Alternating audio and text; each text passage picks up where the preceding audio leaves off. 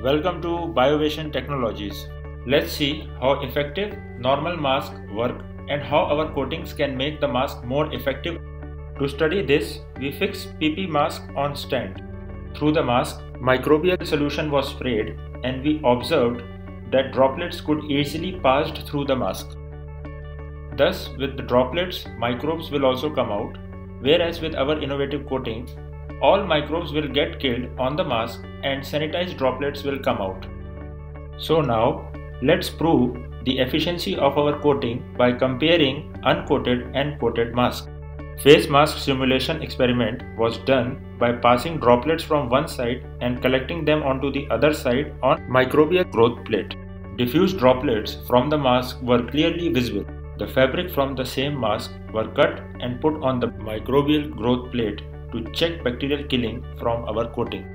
All the plates were incubated at 37 degrees Celsius overnight. Negligible microbial growth was observed in coated mask from the droplets passed as compared to an uncoated mask. Uncoated mask fabric showed microbial contamination, whereas coated mask fabric displayed negligible microbial growth under its effect. So now let's see both the fabrics under the microscope. In uncoated fabric, large number of microbes was observed, but in coated fabric, dead microbes was found. The normal fabric have hydrophobic properties. We made the fabric partial hydrophilic in nature. Thus, the mask is made up of three layers. The first two layers are partial hydrophilic in nature to absorb breath moisture for easy breathing, while the outer hydrophobic layer prevents the entry of atmospheric contamination.